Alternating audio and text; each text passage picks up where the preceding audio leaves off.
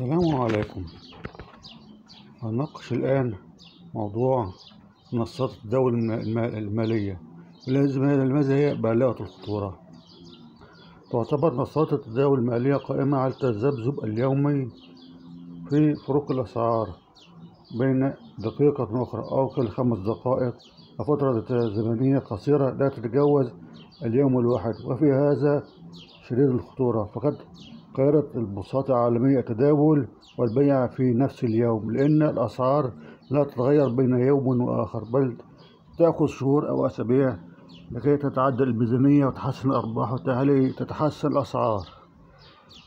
ثانيا أن البيع والإغلاق في نفس اليوم وبينه لحظات أو دقائق لا يضمن حدوث الأرباح.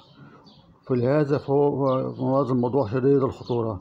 ويعتمد على فروق التداول اليومي في داخل اليوم الواحد وهو يعطيك فترة تداول قصيرة لا تزيد على 12 ساعة.